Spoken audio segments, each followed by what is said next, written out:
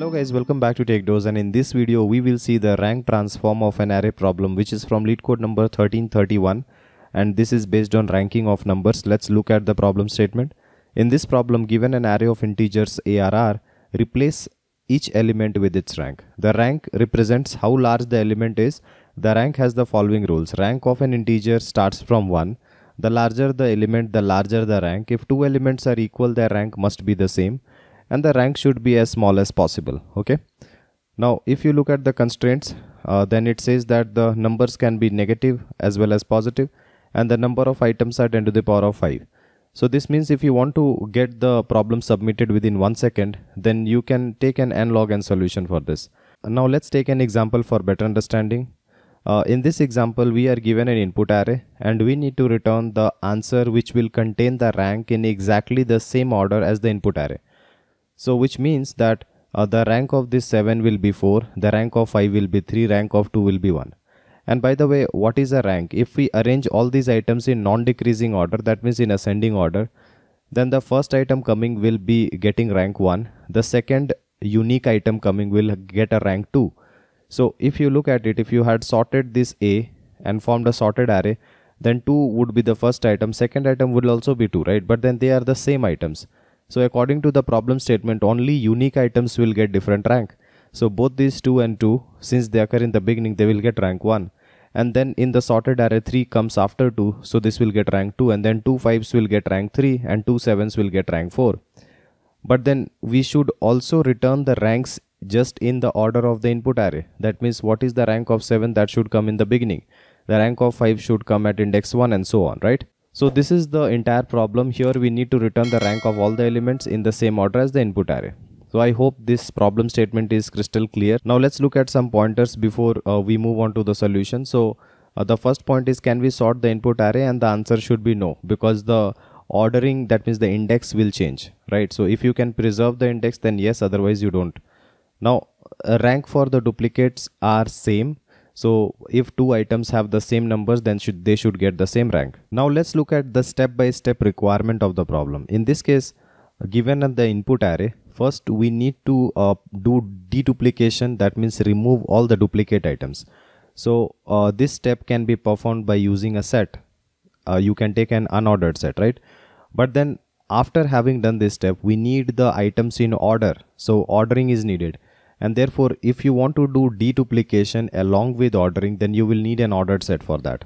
Okay? So we will take an ordered set to complete step 1 and step 2 together.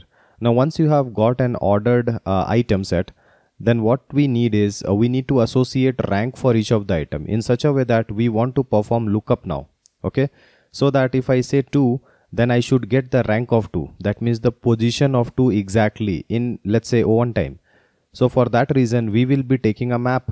You can take either ordered or unordered map, but my main goal is to create a KV pair in such a way that uh, the key is the item and then the value is the associated rank. So we can just iterate through the set and uh, build the KV pair. After having done this, we will build the answer list.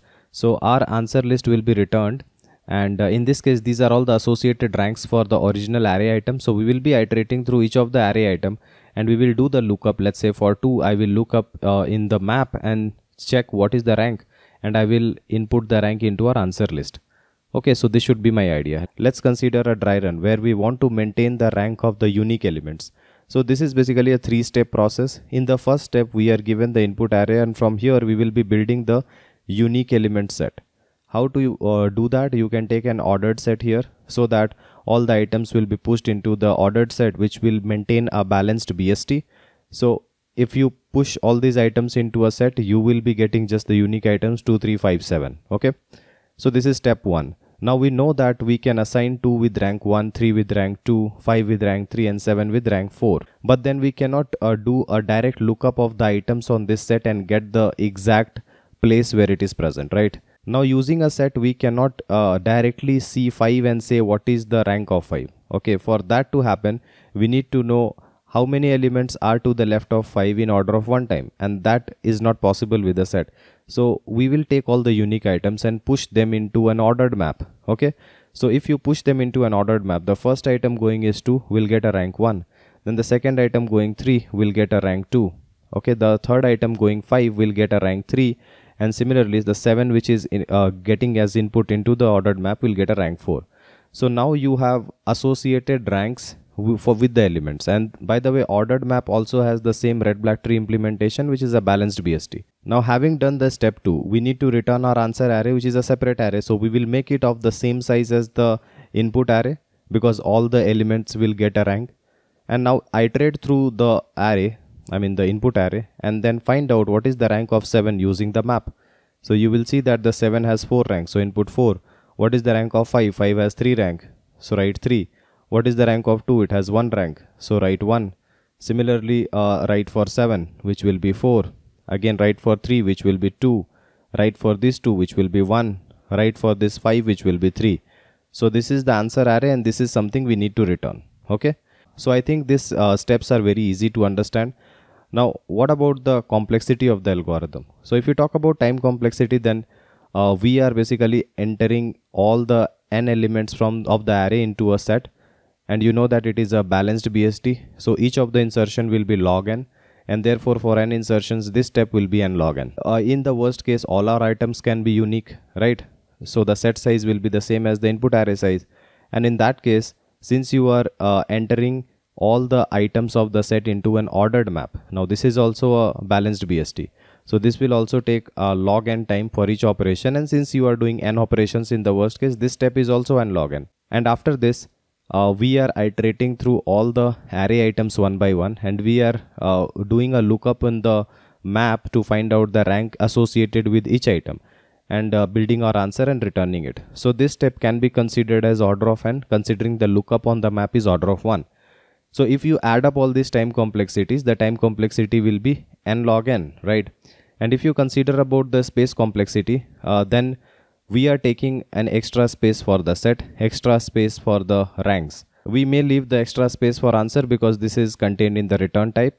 So I will say it is order of n because n is the size of the set and the map. So that is why the space complexity is order of n. Let's now look at the code. If you are someone who is looking to prepare for top product based company within a limited time of just 3 months, then we have brought for you both the DSA and the system design live interview training program the most important feature of this program is you get a filtered and condensed structured curriculum, in-depth discussion of all the topics and my guarantee of your understanding one-on-one guidance with me and live weekend classes. To know more about the training, you can WhatsApp us on this given number. So I have provided the code in C++, Java and Python. You will find it in the GitHub link.